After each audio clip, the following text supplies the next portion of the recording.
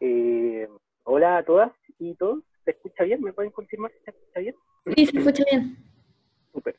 Eh, bueno, primero, muchas gracias a todas y todos por el interés. No nos imaginábamos que iba a haber tanto interés en, este curso.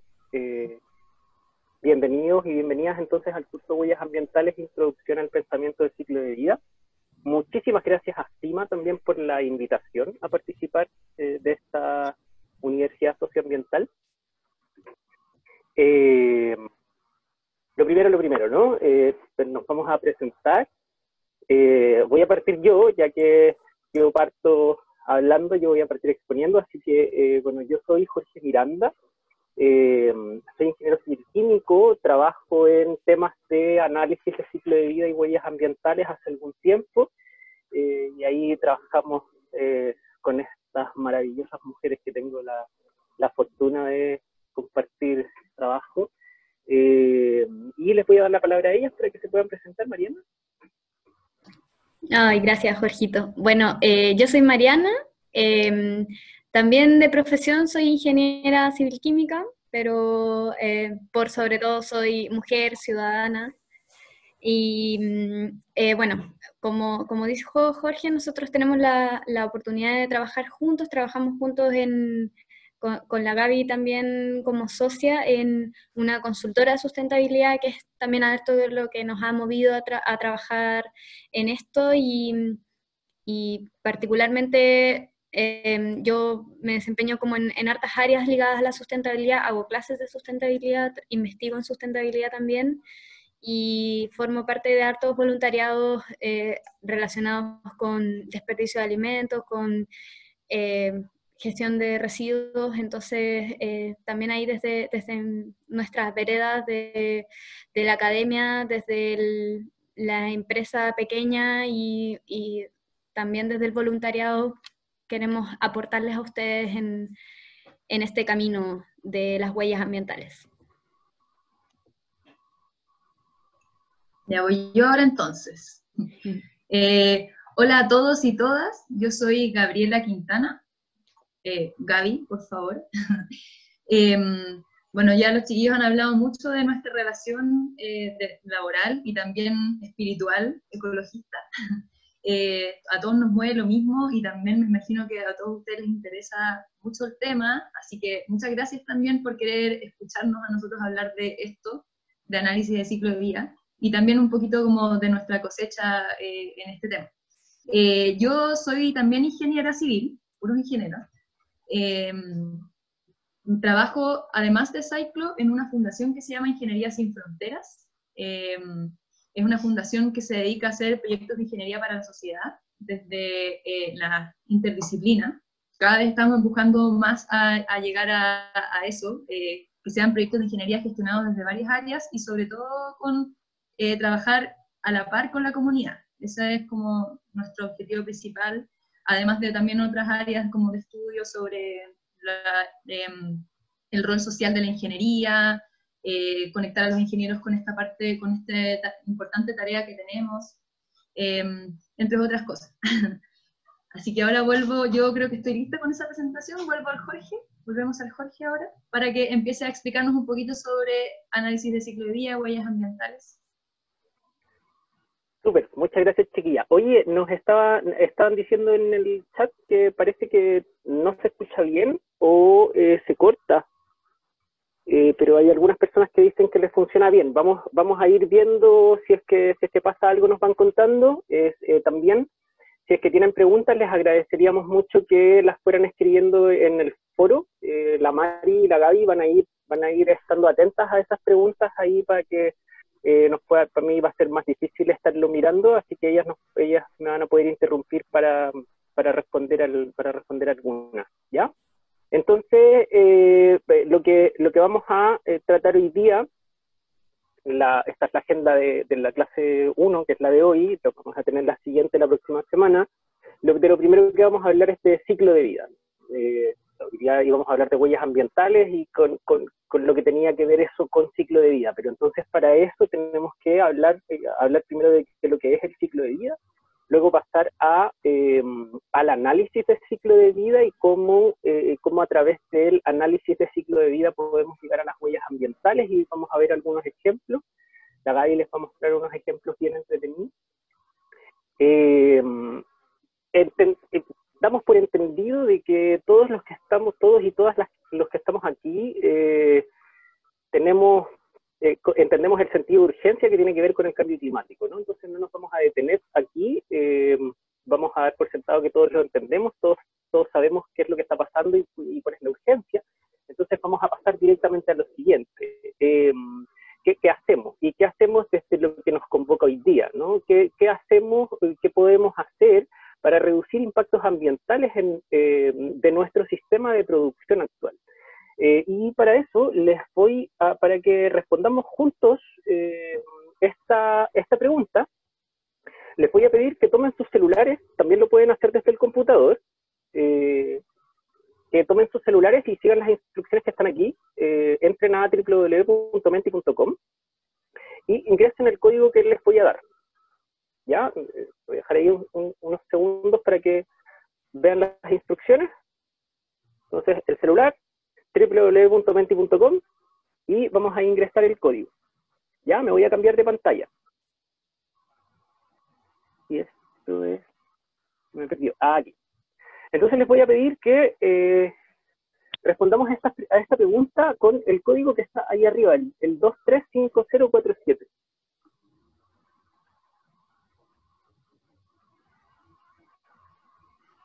Entonces, entrando a www.menti.com, les pide ese código y les va a aparecer esta pregunta. Les van a aparecer eh, ahí eh, tres casillas para responder, eh, pueden, pueden entregar tres respuestas a la pregunta. ¿Ya? Las, las, respuestas van a, van a, empezar a aparecer aquí de manera anónima. reciclar, ser vegana. Súper hay otras cosas que están, que están relacionadas hoy día con el reciclaje, hay, hay, una nueva ley, al menos en Chile sabemos que hay, hay personas, hay otras personas de otros países también que estaban inscritas hoy día. Hay unas, hay unas leyes bien interesantes con el reciclaje, se está trabajando también en, en, temas de compostaje.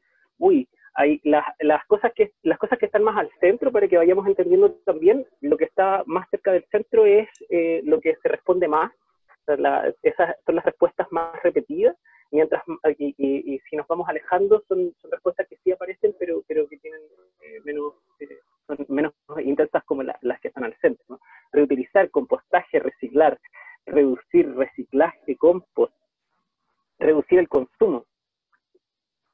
Composta dejar el consumismo veganismo rechazar consumo. Maravilloso. Estoy de acuerdo con todos ustedes compostar, informar, parece que alcancé a leer por ahí. Maravilloso. La, educación, la, educación en estos temas es importantísima. Comprar local.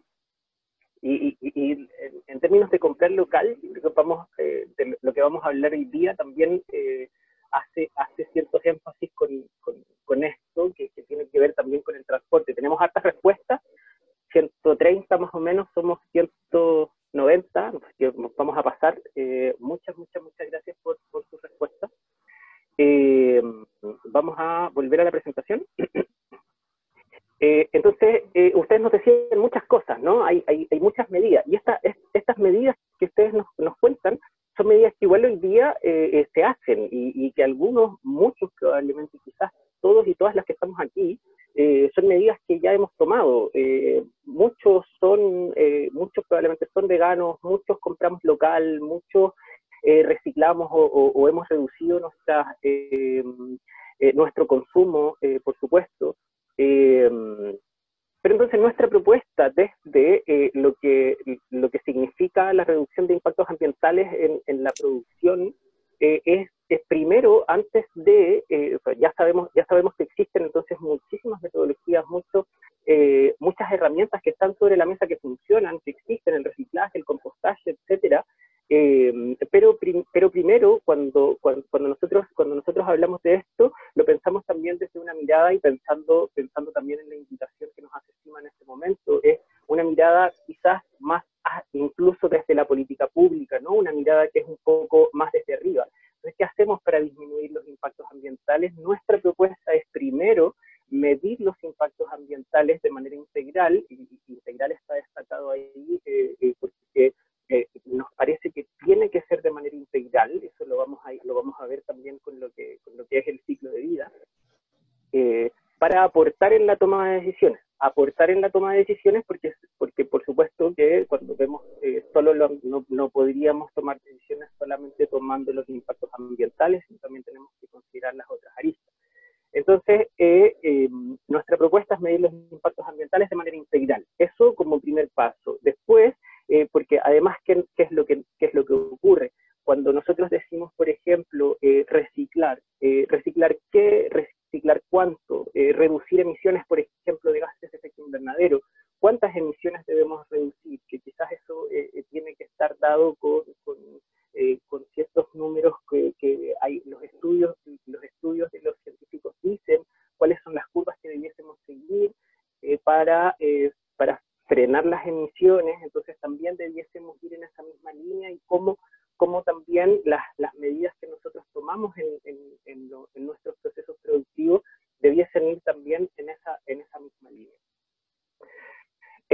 para eso, eh, lo primero es hablar de ciclo de vida. Eh, ¿Y qué entendemos por ciclo de vida? Son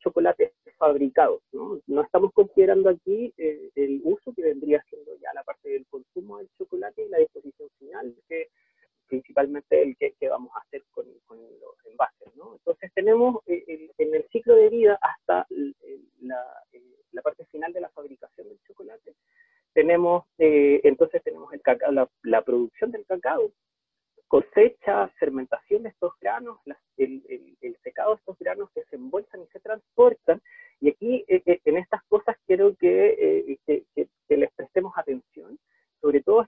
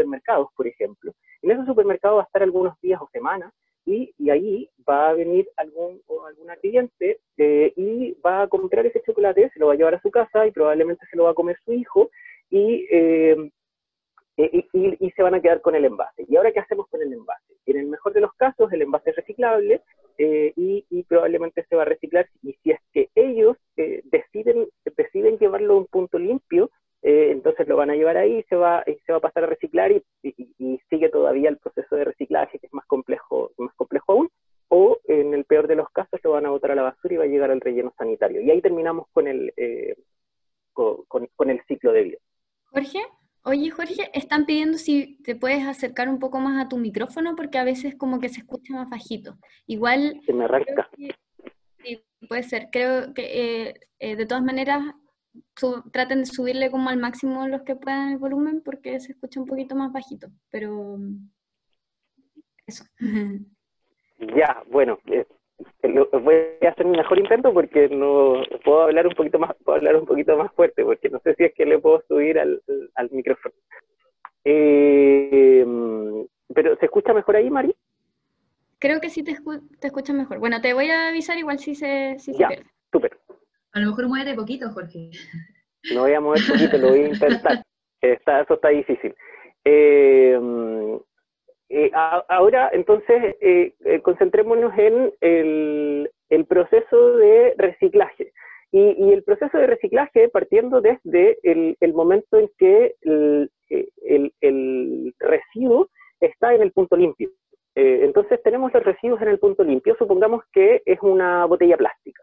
Entonces, alguien eh, que compró una botella plástica, una botella de agua probablemente, se tomó el agua o la bebida y después decidió ir a dejarlo al eh, punto limpio. Y desde ahí, entonces tenemos eh, que transportar esos, esos residuos a algún lugar, porque de partida si lo pensamos, eso tiene que, para ser reciclado, tiene que en alguna planta, tiene que ocurrir el proceso de reciclaje, ¿no?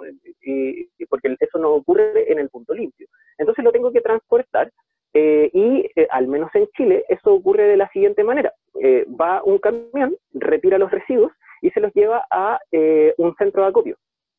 En, este, en ese centro de acopio los, los residuos son separados, como aparece aquí, entonces tenemos, están los residuos en el punto limpio, viene un camioncito, se los lleva, recorre una cierta distancia y, y los lleva a este centro de acopio, en este centro de acopio son separados. Aquí yo le agregué un monito porque eh, me faltaba un camión. Eh, estos, entonces estos son, son separados estos residuos y ah, existe después un nuevo transporte porque estos, estos residuos después son llevados a eh, una planta donde se procesan donde se procesa el material que se usa como materia prima que en algunos casos, eh, como por ejemplo las latas de bebidas, estas se llevan a Brasil. Eh, entonces este, los impactos, los impactos de, este, de este viaje empiezan a ser más importantes.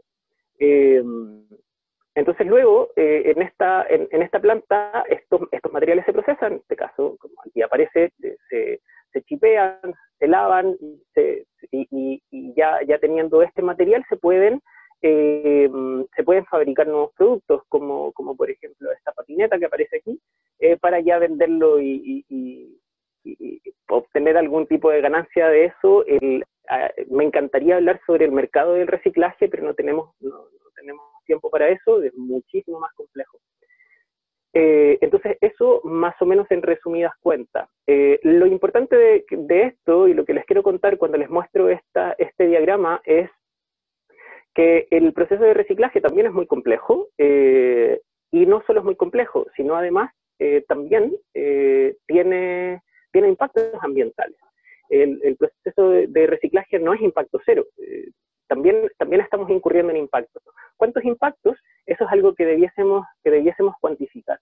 Eh, pero al menos lo primero que uno debiese hacer es generar este ciclo de vida, ¿no? Para poder a partir de ahí eh, levantar los impactos ambientales. Y ya de buenas a primeras, si, si, lo miramos, tenemos estos transportes y estos transportes utilizan combustible, emiten gases de efecto invernadero. Estas maquinarias utilizan, eh, utilizan probablemente energía eléctrica o, o, combustibles y, y, eso, eso también genera emisiones. Entonces, eh, hay, que, hay, que ir mirando los impactos y ahí después eso nos permite tomar ciertas decisiones. ¿Qué pasa si el proceso de reciclaje genera más impactos que el, eh, proceso en que estamos tomando eh, la materia prima virgen? Entonces esas, esas discusiones empiezan a ser un poquito más complejas cuando uno calcula los impactos ambientales. ¿A alguien se le ocurre por qué aplastar la lata?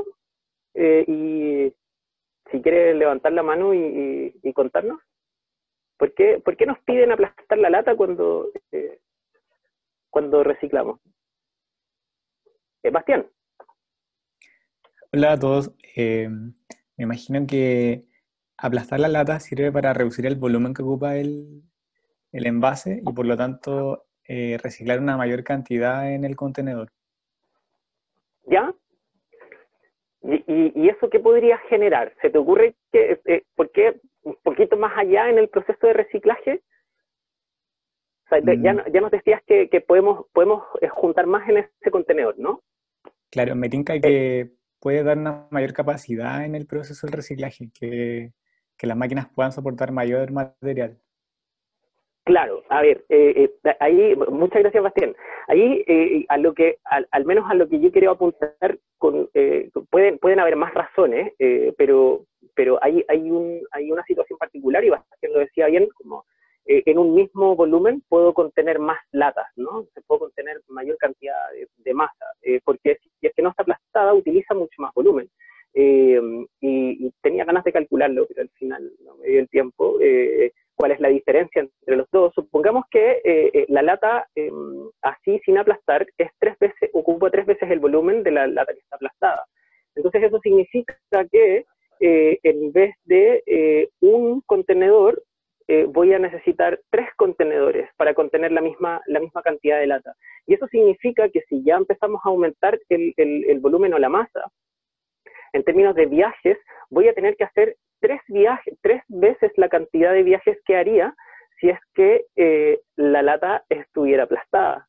Eh, y si hago tres veces la cantidad de viajes, estoy aumentando, eh, estoy triplicando los impactos ambientales de ese transporte, porque tengo que hacerlo tres veces. Entonces, no solo me toma más tiempo, no solo es más costoso en términos económicos, ya les decía que me encantaría hablar del mercado de reciclaje, pero no tenemos tiempo para eso, pero al menos pues, ya podemos ver que si es que tengo que hacer tres veces, si es que tengo que triplicar los viajes, eso significa un mayor costo, eh, y eso, eh, eh, entonces eso genera a, los gestores de, estos residuos, les genera costos más altos y eso significa que quizás el mercado de reciclaje no es tan rentable porque al menos en, este país tiene, que, tiene que ser rentable en términos de las condiciones que, existen en el mercado, ¿no?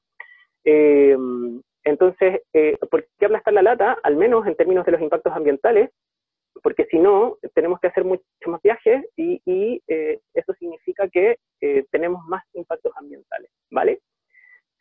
Y, eso nos llama a hablar de análisis de ciclo de vida, eh, que es el que nos habla de los impactos ambientales, ¿no? Y la definición, nuevamente, de la norma es la recopilación y evaluación de las entradas y las entradas, salidas y de los potenciales impactos ambientales de un sistema de producto a lo largo de su ciclo de vida, ¿no? del ciclo de vida, que es lo que habíamos hablado justo antes, de la cuna a la tumba. ¿no? Eh, y, eh, también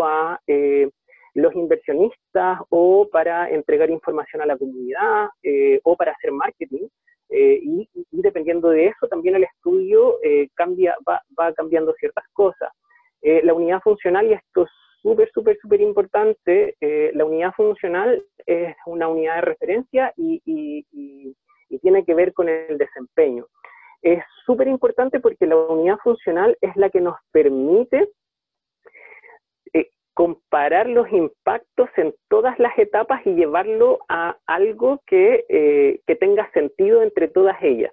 Y esto eh, se entiende un poquito más cuando uno hace ciertas comparaciones. Por ejemplo, hay un, hay, hay un ejemplo clásico de análisis de ciclo de vida que es de comparación de los impactos ambientales de eh, distintos tipos de secadores de mano. ¿Ya? Eh, y entonces, eh, para, tenemos uno, los secadores de manos que son eléctricos, que tiran aire, tenemos para secar las manos toallas de papel, que uno las saca, se seca y las tira a la basura, pero también tenemos los secadores de manos que son, no sé si los conocen, estas, son unas toallas que, se tiran te secas y se repliegan por el otro lado en la parte donde, donde ya está mojado.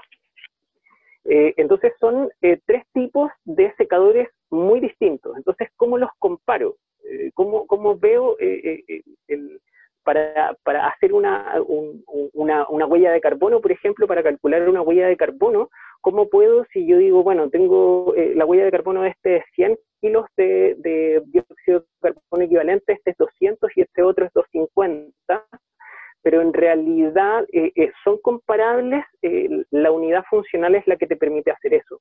Y en este caso, entonces, de los secadores, la unidad funcional es un par de manos secas. Entonces, y ahí se define, ya ahí vuelves hacia atrás, son cosas bastante complejas. Nosotros este, en, esta clase estamos, vamos a tratar de simplificar harto lo que significa los cálculos, eh, pero em, entonces eh, tenemos este par de manos secas. ¿Qué significa hacia atrás eh, para, em, para un secador de manos que, que, tira aire? Entonces eso significa un cierto flujo, un cierto flujo de aire a cierta temperatura y eso significa cierto, cierto nivel de energía. ¿Qué significa un par de manos secas en términos de una toalla de papel? Y ahí uno empieza entonces a hacer comparaciones, a establecer estas medidas hacia atrás que te permiten que los resultados del análisis de ciclo de vida sean comparables. Esto, eh, los análisis de ciclo de vida siempre tienen supuestos y siempre tienen limitaciones. Em, uno siempre tiene que hacer suposiciones, eh, como ahora, por ejemplo, lo que les contaba, entonces uno tiene que decir, bueno, ¿qué significa un par de manos secas? Mm, eh, eso significa que si es que este secador eh, tiene tal flujo de aire, voy a secar las manos en tanto tiempo, pero en realidad la gente, hay, hay personas que se secan las manos y, y, y, sacan las manos de ahí cuando no está 100% seco, o hay personas que se quedan más tiempo para abrigarse las manos, entonces los impactos igual son distintos, entonces uno tiene que hacer suposiciones y decir, mira, esta cantidad de tiempo las manos eh, bajo el aire eh, va a estar seco y así, y así lo hacen todas las. Eh, y después uno pasa al análisis de inventario, que es recopilar datos y procedimientos, la recopilación, la recopilación de datos y procedimientos de cálculo, que es cuando ya uno empieza a ver, y ahí con, con, con la GAI van a ver eh, unos ejemplos interesantes de, estos, de estos flujos que uno empieza a hacer y dice cuánto, cuánto tengo de flujo de entrada aquí, cuánto tengo de flujo de salida, cuánto tengo en residuos al final, cuánto tengo de materia prima al principio, eh, ¿no? Y eso en cada una de las etapas cuánta, cuánta energía estoy utilizando, cuál es la distancia que estoy viajando en, esto, en estos transportes de los que hablábamos antes también. Y ahí este, entonces tenemos la asignación de flujos y, emisiones. Y después pasamos a eh, la evaluación de impacto eh, del ciclo de vida. Y ahí se evalúan cuán significativos son los impactos ambientales utilizando los resultados del, de, de, estos, de estos impactos en el ciclo de vida. Eh, y, y, y, ahí eh, volvemos a lo que yo les decía antes, ¿no? Tenemos, tienes los resultados y puedes, con un análisis de ciclo de vida, puedes tener los resultados de los impactos etapa por etapa. Eh, y, y, ahí, entonces, ahora tú te sientas y evalúas eso, ¿no? Porque dices, bueno, ¿qué significa que yo tenga 10 toneladas de dióxido de carbono equivalente si hablamos de huella de carbono? en esta etapa y, en esta otra etapa tenga, tenga 20, eh, cómo, qué, qué, significa para mí como empresa, qué significa en términos de y qué información puedo sacar yo de ahí para hacer, para hacer gestión después.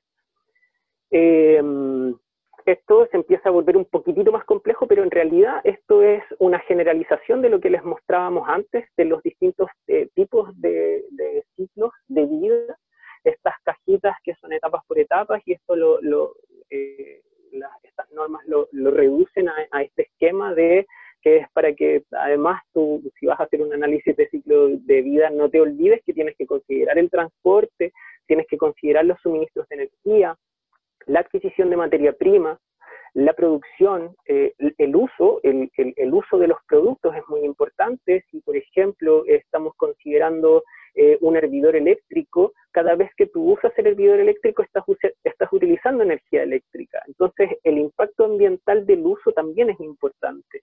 Em, los tratamientos de los residuos y después y también tenemos el reciclaje, la reutilización, cuáles eh, son los flujos también que están entrando al sistema y los flujos que están saliendo del sistema. Eh, y, vamos a ver un ejemplo, no sé cómo estamos de tiempo, ¿estamos bien de tiempo, chicas? No, me perdí, yo me perdí el tiempo. ¿sí? Eh, ah, eh, entonces, hace un tiempo con, con Mari y Gaby tuvimos que hacer un, un, ejercicio, un análisis de ciclo de vida para alguien que nos pidió, una empresa que nos pidió que querían una fundación en realidad que estaba trabajando con pequeños productores y, querían, querían saber cuál era el, eh, la huella de carbono de, los hongos. Y, entonces nosotros hicimos un análisis de ciclo de vida. Eh, y entonces ahora vamos a ver el ejemplo de esto, que es el, análisis de ciclo de vida de eh, la producción de Agaricus bisporus, que es el champiñón París, que es el típico champiñón que uno compra en el supermercado. El proceso de producción de esos champiñones es eh, más o menos esto. Eh, se ve más o menos complejo, pero en realidad esto es una super simplificación del proceso eh, y tiene, tiene muchas etapas. No me voy a detener en todas porque no es lo que queremos que en lo que queremos enfocarnos. pero, pero claro, tenemos, por ejemplo, estos, estos champiñones se producen principalmente en la región metropolitana y en la quinta región. Eh, y utilizan como sustrato eh, residuos de, la, de las industrias, de, las empresas que, pertenecen al sector agroindustrial.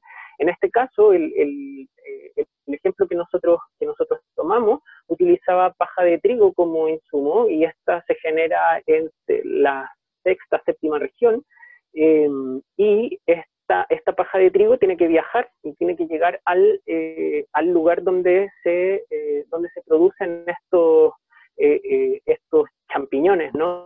Em, entonces tenemos el traslado desde, desde donde se genere ese residuo hasta el, lugar donde se va a utilizar como materia prima después tiene la preparación de ese sustrato, después tiene la siembra y de ahí el crecimiento, como les decía, no me voy a detener en cada uno de ellos, el crecimiento, después se cosecha, se envasa, se almacena y otra vez se transporta, se almacena en algún supermercado, este caso habla de un traslado a un restaurante porque particularmente nos habían pedido que querían saber eh, cuál era el impacto de producir un plato específico de comida que contenía 100 eh, gramos de, este champiñón.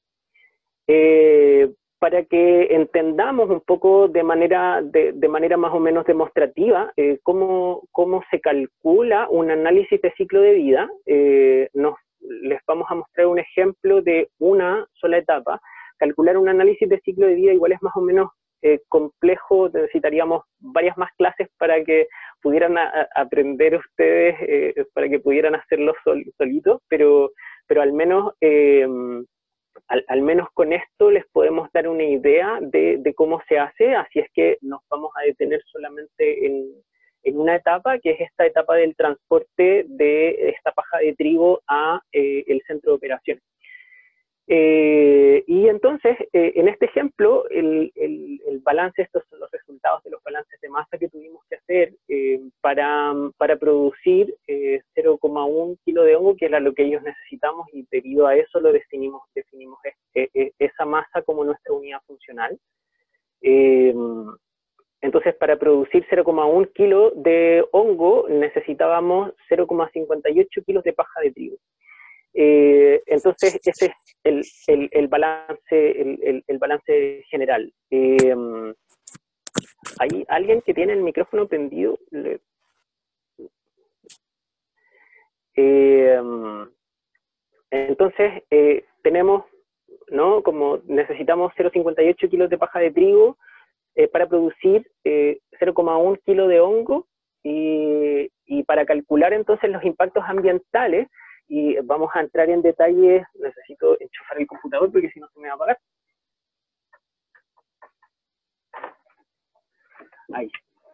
Eh, entonces, eh, tenemos esta, esta cantidad de masa que es la que necesitamos para, después de todo, todo, todo el proceso, producir 100 eh, gramos de hongo. Son estos 0,58 kilos de paja de trigo. Y, y la etapa que estábamos viendo, ¿cierto? Era les, eh, ¿Hay alguien que tiene el micrófono encendido? ¿Les podemos pedir, por favor, si es que pueden apagar sus micrófonos? Porque si no, genera, eh, se confunden todos los audios, eh, los micrófonos de todos. Entonces necesitamos transportar esta, esta cantidad de masa, por supuesto que transportamos mucho más, ¿no? Pero en, términos de poder tomar los impactos ambientales que tengan que ver con la unidad funcional, tenemos que tomar la, cantidad de masa que hace referencia a la, unidad funcional.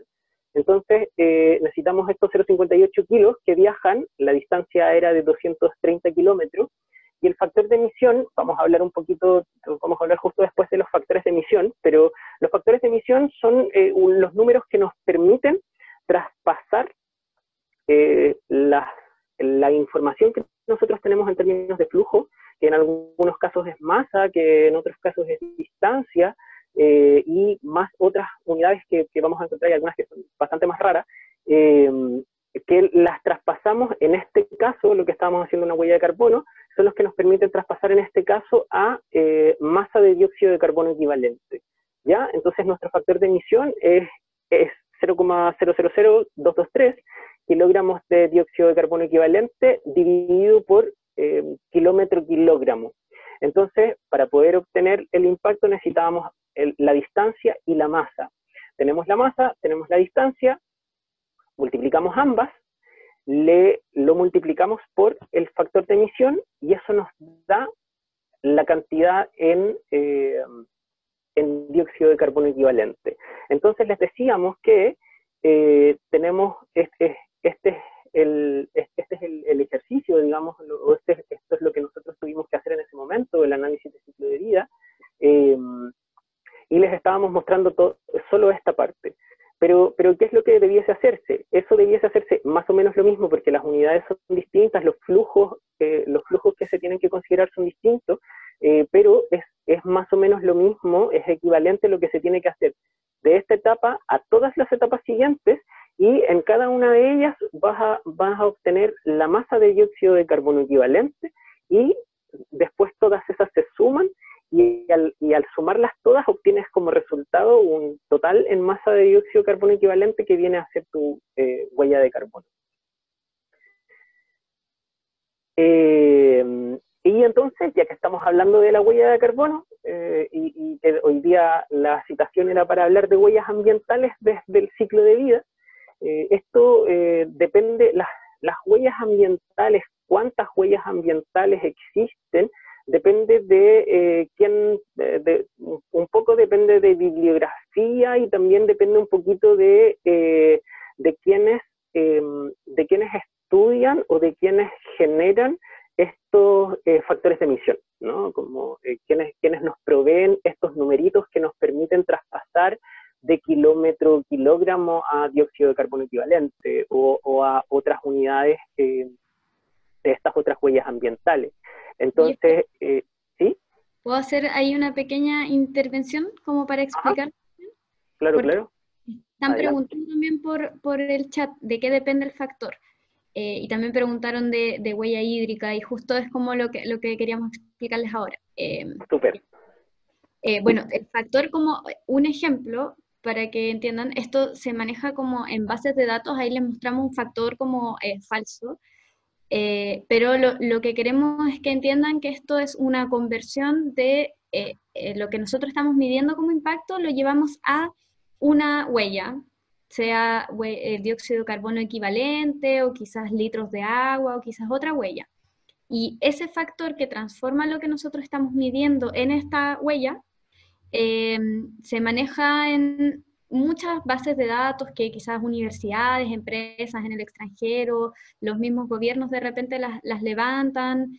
Eh, por ejemplo, está levantada ese factor en el caso de Chile para eh, la energía. Y ustedes se pueden meter en energiaabierta.cl, eh, creo que es la página.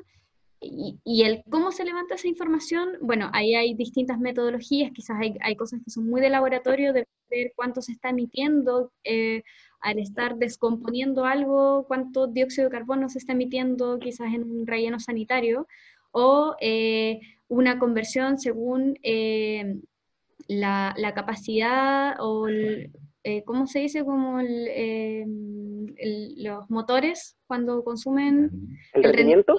el rendimiento del motor llevado desde cuántos litros consumen a cuánto se emite. Entonces, ahí depende de distintas metodologías de cálculo y efectivamente, bueno, de hecho Iván está poniendo distintos factores que el IPCC los mide, eh, la Unión Europea, el, em, el gobierno británico, hay, hay muchas fuentes de donde podemos sacar eso. El GHG Protocol, si el GHG Protocol es una metodología que está eh, enfocada en emisiones de gases de efecto invernadero que, sería como mirar algunas de las categorías de impacto, que es lo que ahora Jorge va a explicar. Súper. Eh, el caso, mira, a ver, justo voy a, voy a hablar de, los factores de emisión justo después de esto, pero, pero un poco para, para, responder, incluso para profundizar quizás un poquito más en la pregunta, eh, el, factor de emisión lo que hace es simplificarte, es, simplificarte los cálculos. A pesar de que es algo les voy a mostrar una foto que muestra solo un pedacito de una base de datos, las bases de datos son gigantescas. Eh, lo que hace es, simplificarte un poquito la vida, porque eh, ¿qué, es lo que, ¿qué es lo que debiese hacer uno, por ejemplo, si es que, si es que quieres saber cuáles son las emisiones de gases de efecto invernadero de un transporte, entonces debiésemos medirlo, ¿no? Como con algún instrumento que, eh, eh, eh, y, ahí vienen los problemas. Podemos medir, podemos medir en, un, en, el camión que va a recorrer estos 230 kilómetros, podemos medirle los, gases de efecto invernadero que emitió durante todo ese viaje y, los, y, estos factores de emisión empiezan a cumplir un poquito ese rol.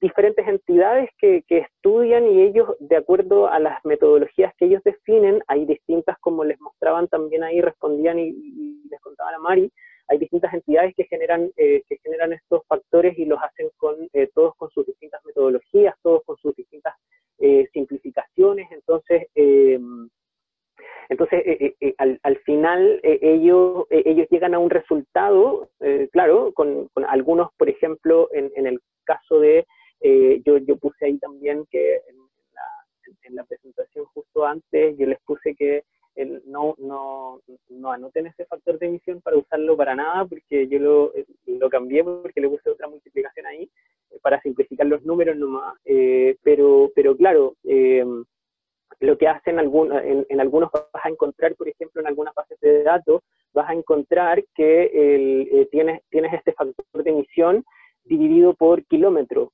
porque la parte, la parte de los, de los, la parte de los kilos está metido dentro de sus metodologías. entonces ellos simplifican diciendo, bueno, voy a considerar, por ejemplo, que eh, todos los camiones están viajando con carga completa. Y viajar con carga completa significa viajar eh, a eh, capacidad de entre 3 y 5 toneladas. Y si este camión viaja entre 3 y 5 toneladas, tiene un rendimiento, como decía la Mari, de tanto, entonces eso, eso significa que voy a consumir tanto combustible y por eso voy a tener esta, esta cantidad de emisiones. Eh, y eso para eh, las distintas huellas ambientales. Entonces, estas distintas huellas ambientales eh, son cambio climático, agotamiento, agotamiento del ozono, toxicidad humana, ah, radiación ionizante, ruido, acidificación, eutrofización, ah, ecotoxicidad, uso de suelo, agotamiento de recursos, y, estas distintas se pueden reunir de la, manera en la que están mostrando estas, estas flechitas de los distintos colores, ¿no? En que, hacen metodología, con una metodología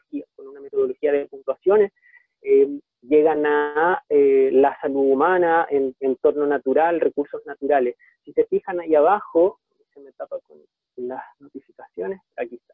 Eh, aquí dice, bueno, categorías de impacto, les quisimos mostrar un par de unidades, son distintas. si hablamos de cambio climático, que es lo que vendría siendo la huella, la huella de carbono, las unidades eh, tienen que ver con el dióxido de carbono equivalente, o masa de dióxido de carbono equivalente, que es kilogramos de dióxido de carbono equivalente, toneladas de dióxido de carbono equivalente. En el caso del uso de suelo, la unidad es metro cuadrado. Entonces son, son bastante distintas. Eh, y, por eso después hay, hay, ciertas metodologías que permiten hacer estas, eh, como juntarlas de alguna forma, y, son un poquito más complejas también, pero no vamos a entrar ahí. Eh, y, y, la, Mari les estaba contando también de, cómo, de, cómo vamos haciendo equivalencias entre, distintas cosas, ¿no? Y, para ejemplificar eso, eh, los gases tenemos los gases de efecto invernadero, que eh, para calcular una huella de carbono debiésemos considerar estos siete gases de efecto invernadero, pero, pero la huella de carbono nos entrega eh, solo dióxido de carbono, ¿no? Nos entrega solo uno. Entonces, ¿cómo, ¿cómo ocurre eso? Eso tiene que ver con, eh, con, algo, con un concepto que se llama potencial de calentamiento global. Eh, y, claro, potencial de calentamiento, global, ¿cuál es, su, potencial de calentar la Tierra a 100 años, de subir, de, subir la temperatura, ¿no?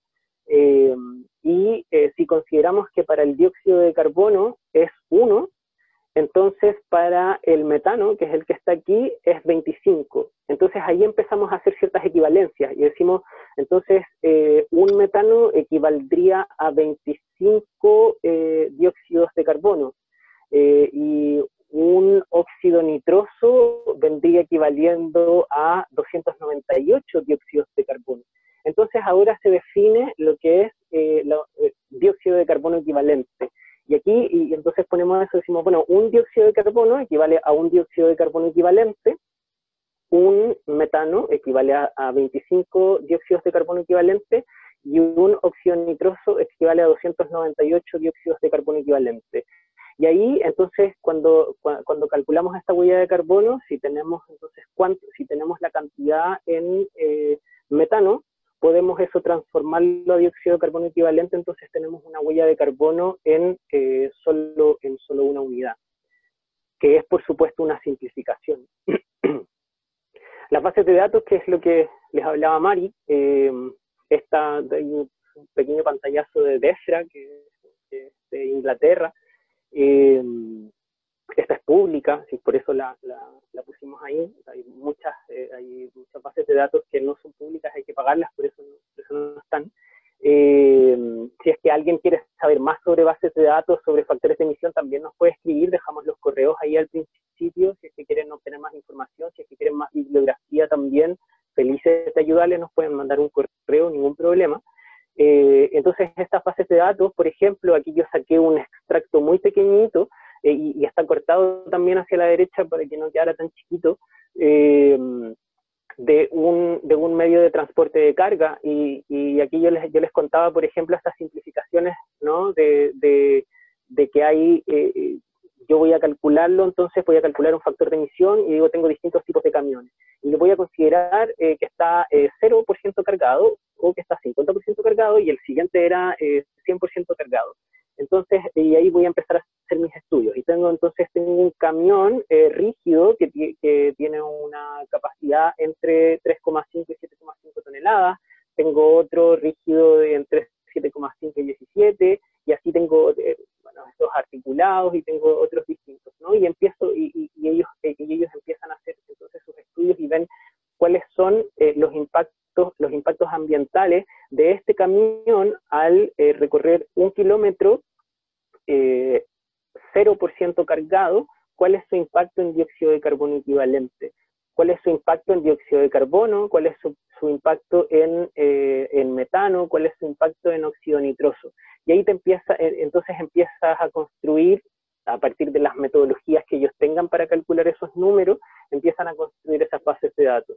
Entonces, cuando, cuando tú estás em, haciendo estos cálculos de análisis de ciclo de vida, em, eh, tienes, eh, vienes acá y, vas y dices, bueno, necesito, necesito calcular el impacto de este, de este trayecto.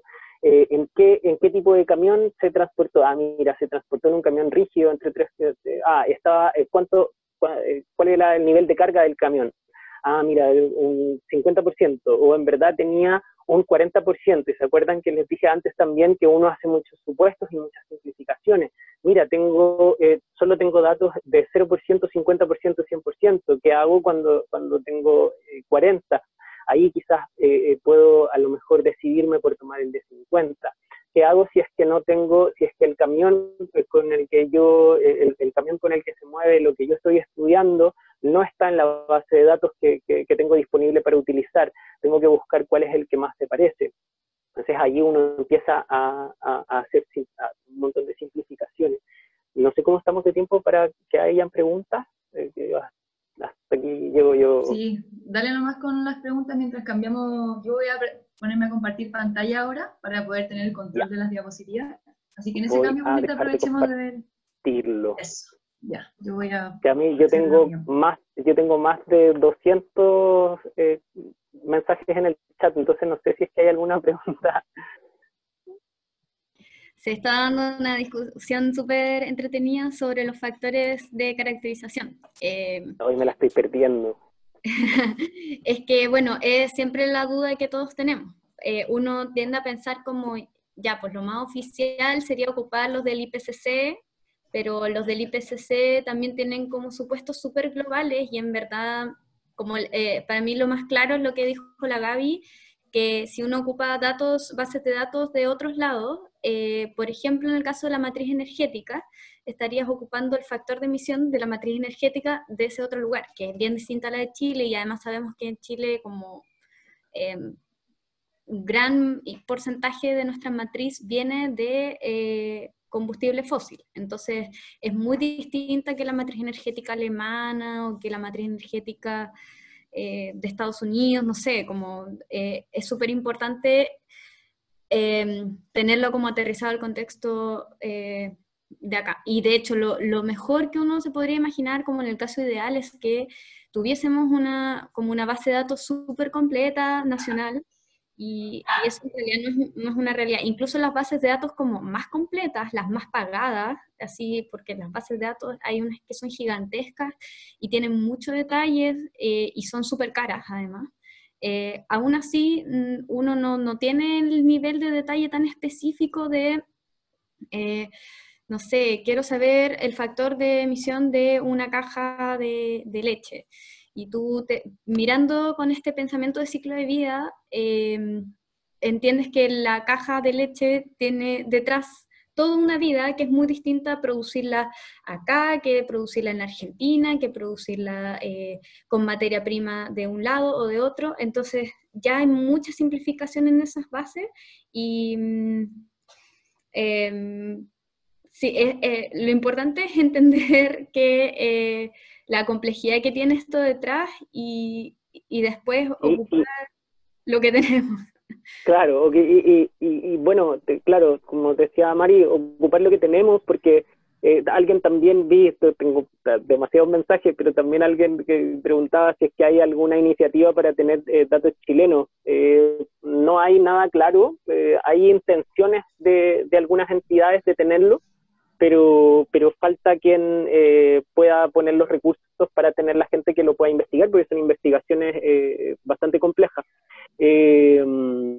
Y, claro, entonces eh, tenemos que usar lo que tenemos. Y en ese sentido, eh, usar lo que tenemos tampoco es tan malo. Eh, tampoco es tan malo porque porque quizás vamos a, el, resultado va a tener errores y va a tener errores, por supuesto, pero lo más importante, y es nuestra convicción, al menos en las cosas que nosotros trabajamos con la Gaby, con la Mari, es que qué es lo que va a qué es lo que vas a hacer después de que tengas la información. Probablemente vas a tener algunos errores, pero el, mono que vas a tener como resultado, eh, si es que el dato en vez de ser eh, eh que vas, a, vas a cambiarle 0,0001, eh, eh, probablemente el resultado no va a ser tan distinto. Y en verdad, ¿qué es lo que hago después? ¿Qué es lo que hago cuando tengo la información etapa por etapa, cuando me doy cuenta que hay ciertos de impactos en alguna, en alguna etapa específica, qué es lo que voy a hacer para reducir los impactos ahí. Y al, tomar medidas de reducir los impactos en esas etapas en particular, eh, probablemente no me interesa tanto que el factor de emisión sea súper, súper, súper específico. Me importa, me importa tener algún resultado del cual yo me pueda tomar para poder, eh, para poder tomar decisiones. Ahora voy a dejarlos con eh, Gaby, que les va a mostrar unos ejemplos.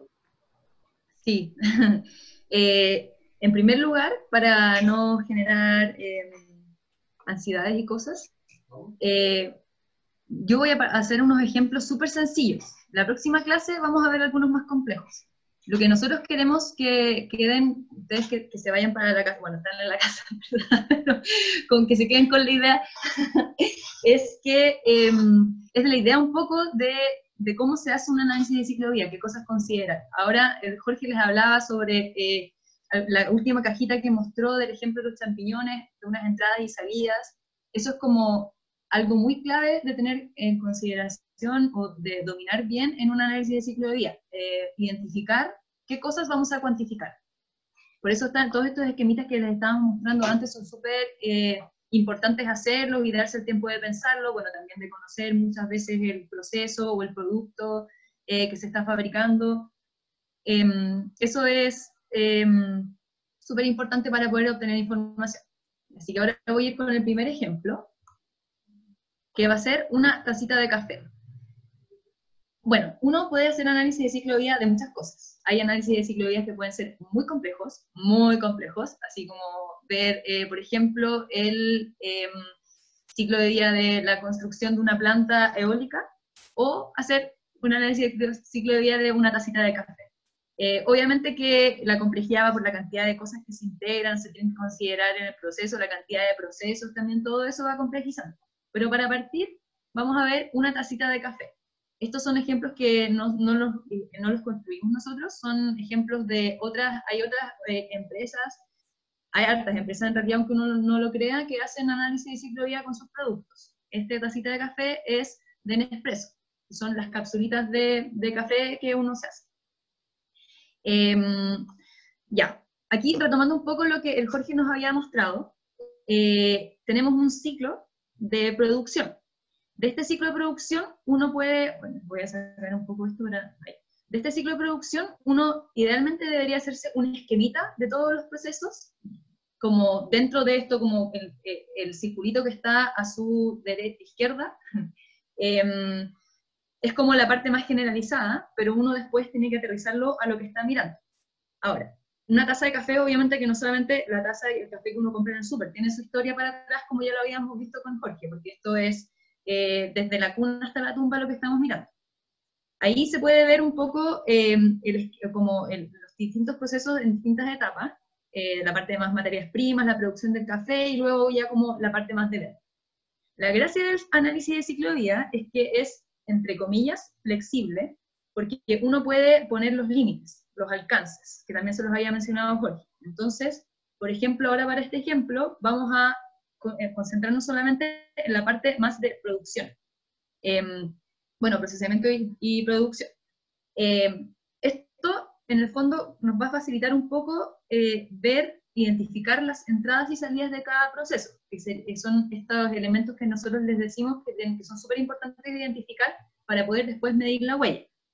Eh, otra cosa importante que, que, antes vi que estaban como buscando, o sea, preguntando bastante, es que em, los tipos de huella que, que tiene el análisis de vida son bastantes. Y algo que también es, que, como que te abre los ojos del análisis, análisis de ciclo de vida, es que hay muchos impactos. Oye, me esperan un poco que alguien dejó abierta la puerta de la entrada y esto me está dando mucho frío. Espérenme un segundo, perdón, disculpen. pensé que iba a seguir. Esto pasa por hacer las cosas en vivo. Ya, ahora sí, perdón. Obvio que se escuchó todo lo que dije. Ya, se me fue totalmente el fondo. Bueno, em, a mí me gustaría que ahora ustedes, con todo lo que hemos hablado, eh, y bueno, todos más o menos conocen un poco de qué se trata el, proceso del café, o sea, el café viene de un arbolito, el arbolito se lleva a una fábrica, la fábrica lo procesa, lo envasan, se, se va para la casa. Eh, me gustaría que se tomaran un minuto para pensar más o menos qué cosas considerando la caja naranja, que está como eh, la línea punteada, qué cosas entran y qué cosas salen de, esa cajita. Sin, no es, como, no es para, para, dar palabras, ahora es para que se lo imaginen un poco. Después, obviamente, yo les voy a mostrar qué cosas eran efectivamente las que entraban y salían. Pero para que, lo, para que pueda hacer el ejercicio un poquito en la casa, un minutito. O ya, 30 segundos.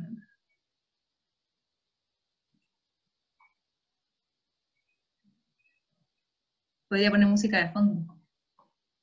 Para la próxima semana les pongo música de fondo para esta parte del ejercicio.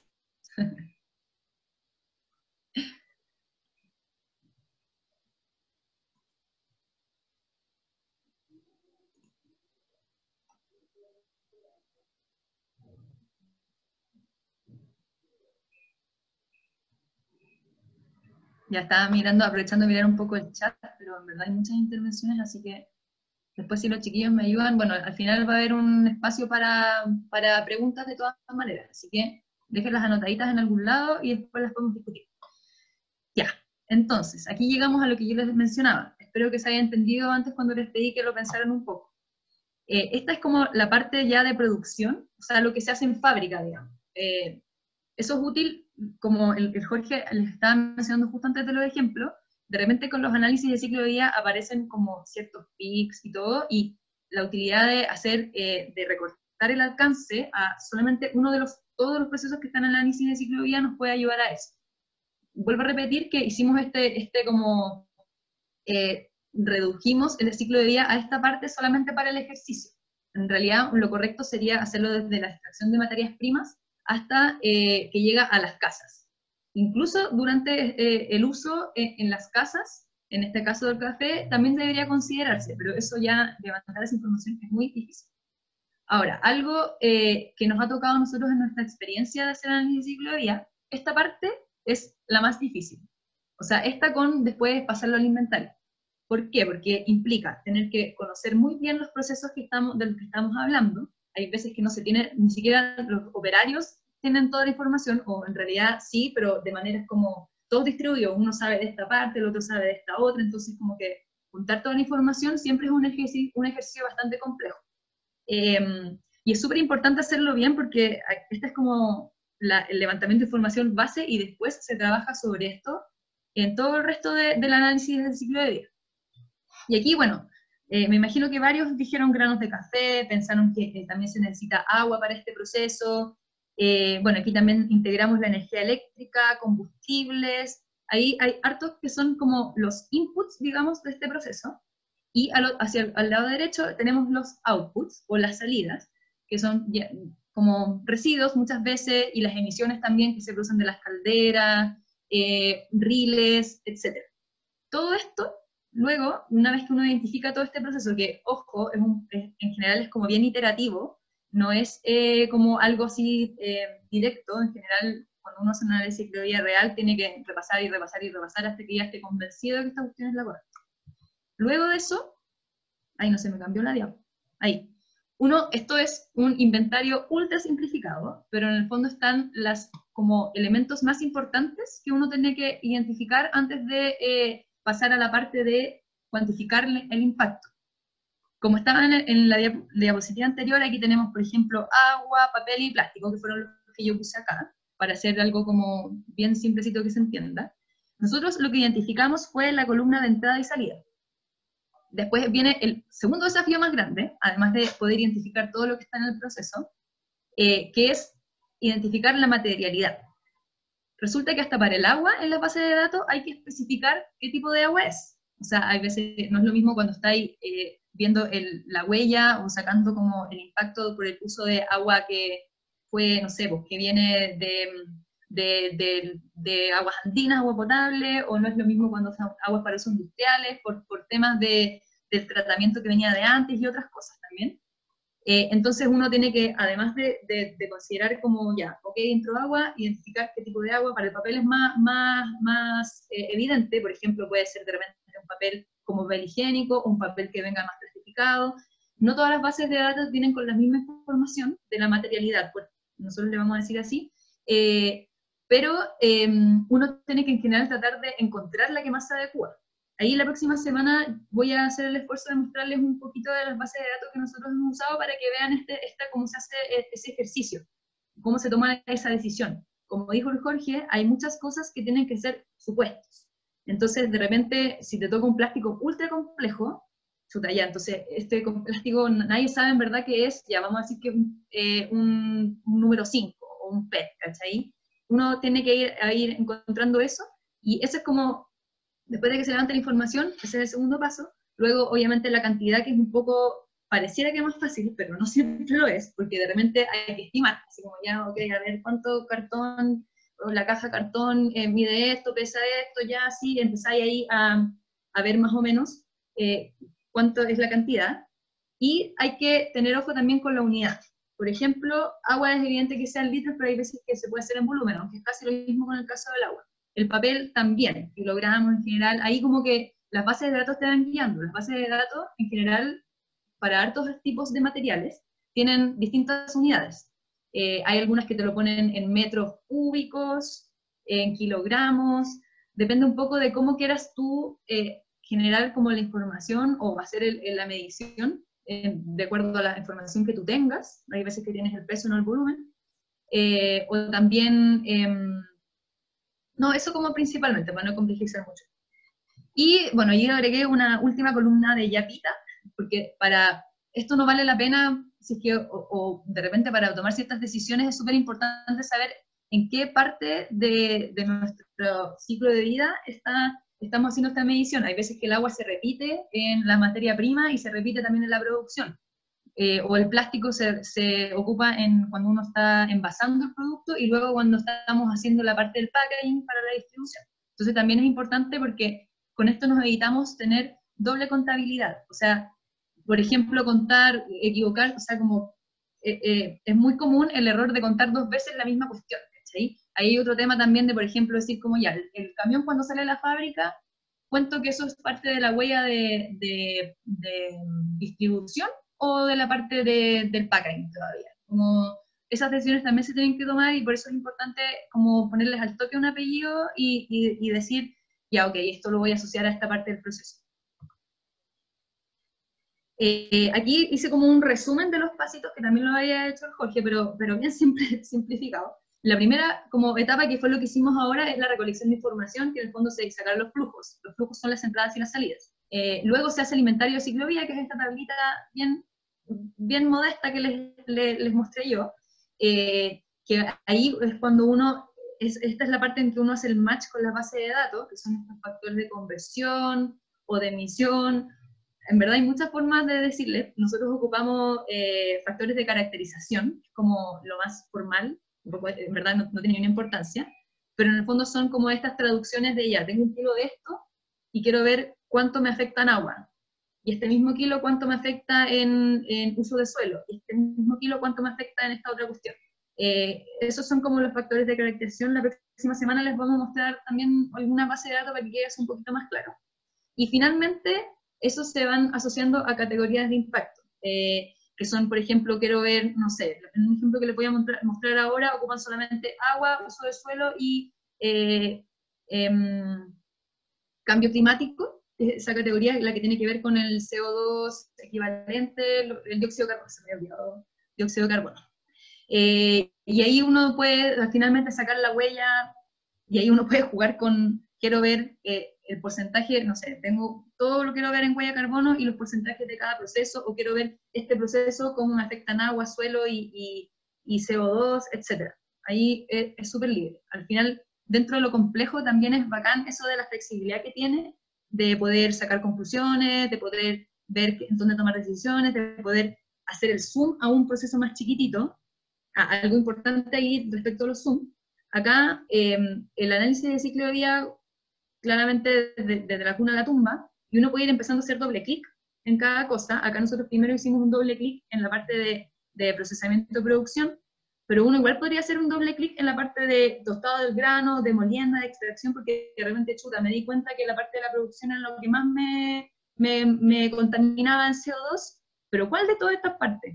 ya, entonces voy a empezar a ver la molienda, detalle, el molienda probablemente va a entrar eh, energía eléctrica para mover las máquinas, y el grano de café también, y, y, en la extracción después un poco de agua, y entonces ahí uno puede empezar como a hacer doble clic hasta que llegas a lo lo más indivisible, hasta donde no puedes seguir dividiendo los procesos, que sería, eh, ¿cómo se llama esta cuestión? La unidad, no, no es la unidad funcional, proceso unitario.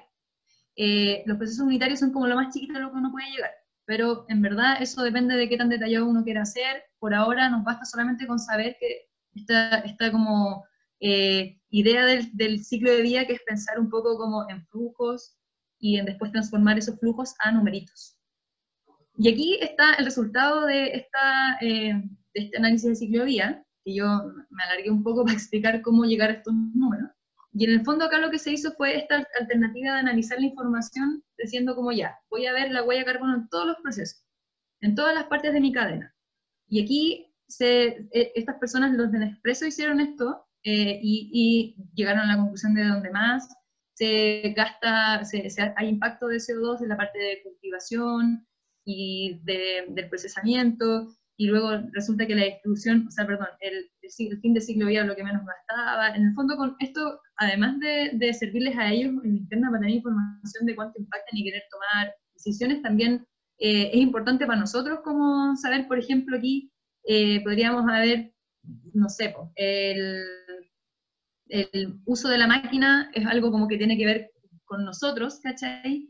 Como ya, ok, entonces voy a empezar, a, me voy a cuestionar si quiero tomarme tanto café de capsulita, no sé, es como que es súper importante, o más que súper importante, súper valioso, creo yo, este tipo de información y transparentarla como lo hacen estas personas, no es que sea fan de Nespresso ni mucho menos, pero sí valoro mucho que hayan hecho esto.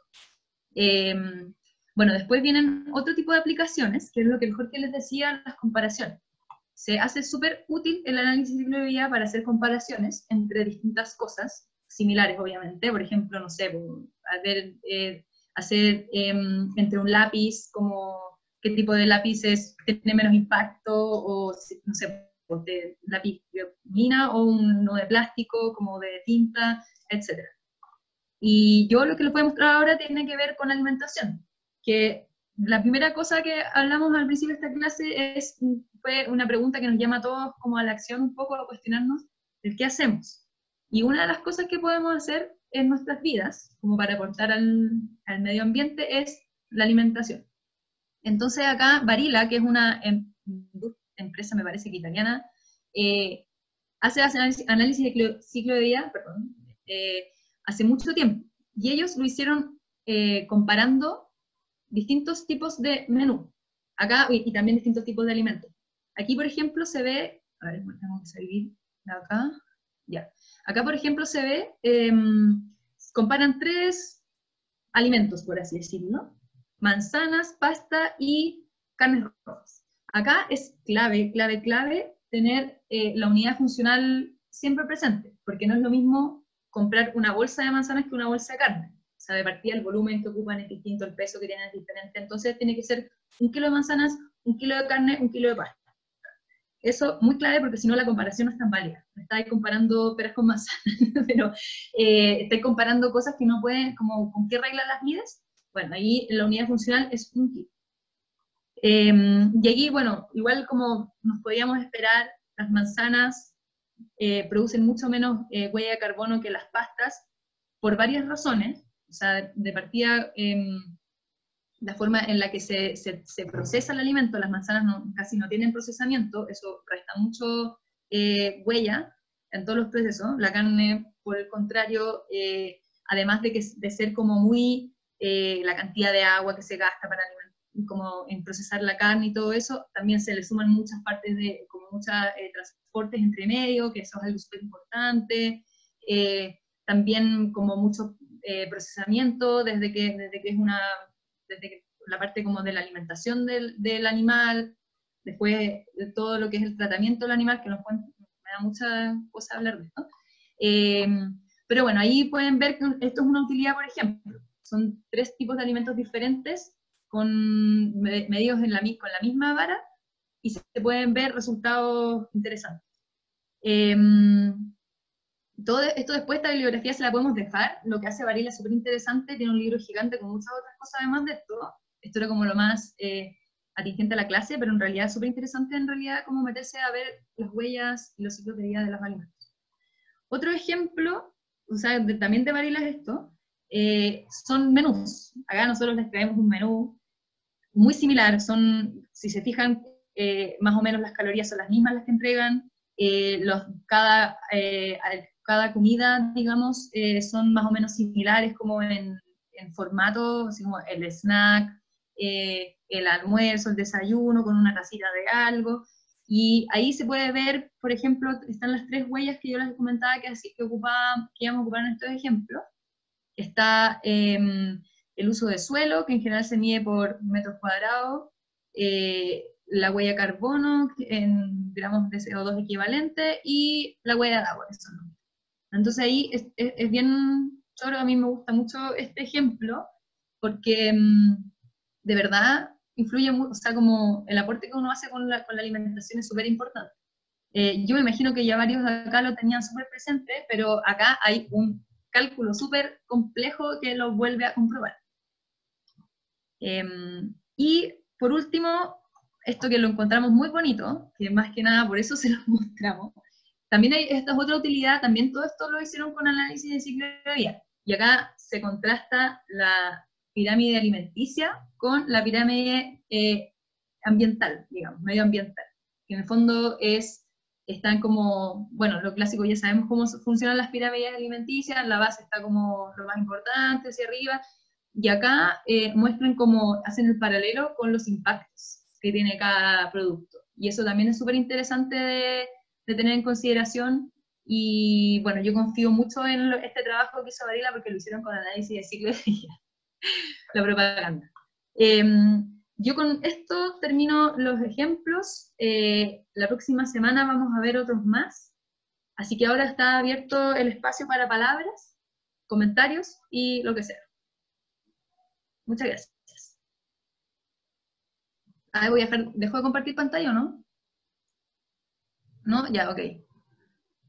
No sé si que alguien le ha levantado la ah. eh, lo podemos dejar ahí. Mari, Mari les compartió un link eh, que la idea es que nos es muy poco probable responder a todas, a todas sus preguntas, nos encantaría responderlas todas, eh, nos encantaría conversar muchísimo más de las conversaciones que se están dando, que son súper interesantes en el foro, eh, pero el, el, tiempo, el, tiempo es muy cortito. Entonces, Entonces, ahí está ese link que está puesto ahí, que Mari también lo puso en el chat, para, como vamos a tener una siguiente sesión la próxima semana, eh, la idea es que en ese link nos pueden, que es un formulario, nos pueden escribir sus preguntas.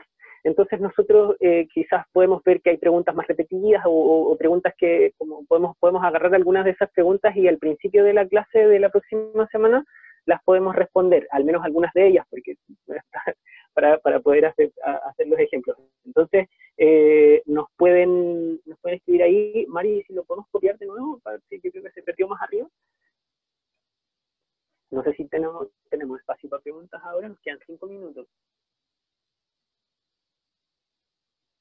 Quedan seis minutitos que se pueden aprovechar si es que alguien desea. Y si no, usar la herramienta que, usar las herramientas tecnológicas también pinta bien.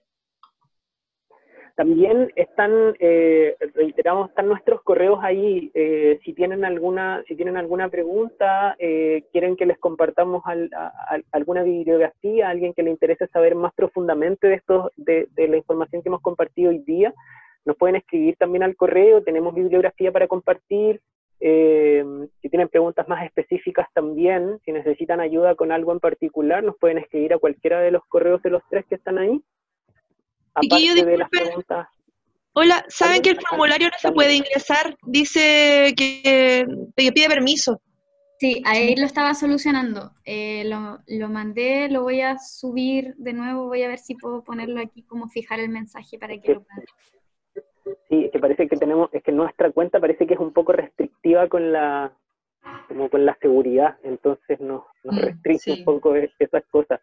Eh, ¿Dónde encontramos la presentación? Dicen, nosotros podemos compartirles la presentación, no sé si Joaquín eh, a través de algún medio se les puede compartir, eh, no tenemos ningún problema con compartirla.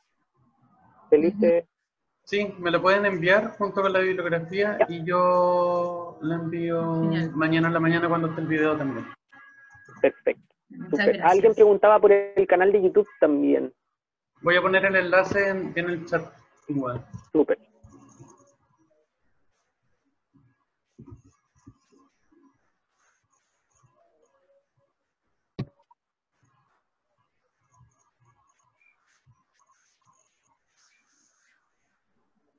Disculpen, ¿puedo hacer una pregunta? Sí, claro. Hola, mi nombre es Daniela Vergara. Mira, yo eh, quería consultar un poco eh, sobre lo que ustedes estaban eh, hablando de, mm, del análisis de ciclo de vida en el reciclaje. Yo sé que dijeron que no lo iban a mencionar en mayor profundidad ahora, que, pero me parecía interesante porque creo que igual todo, las situaciones dependen mucho.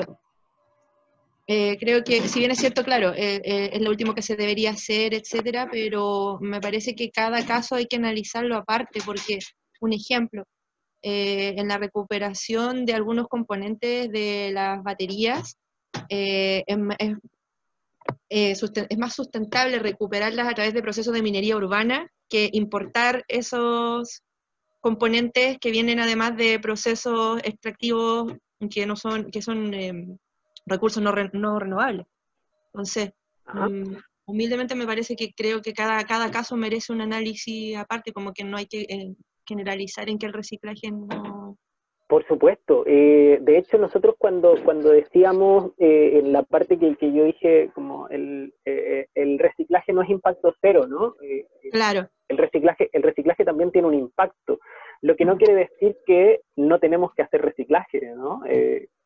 Solo que, solo que hay que considerar que el, reciclaje sí va a tener un impacto, eh, pero eh, claro, yo creo que lo que tú lo que tú nos mencionas responde mucho a lo que a, lo mismo que nosotros también decíamos antes, que eh, o, al, al, sentido que le hemos tratado de dar también a esta sesión, que es hacer el análisis de ciclo de vida. Y el análisis de ciclo de vida responde a un proceso particular y responde a ciertas condiciones particulares. Si te fijas, de hecho, en el ejemplo que, que yo mostraba de estos, de estos hongos, eh, necesitábamos la distancia. ¿Y cuál es esa distancia? La distancia desde la ciudad en la que se genera este, e, este residuo que se utiliza como materia prima hasta la planta productiva, que son exactamente 230 kilómetros. Entonces, es, es algo súper particular, si te fijas, ¿no? Como no es, no es una distancia cualquiera, no es una masa cualquiera, no es un proceso cualquiera, es el proceso específico de producción de este, de, de, de este, de, en este caso de este hongo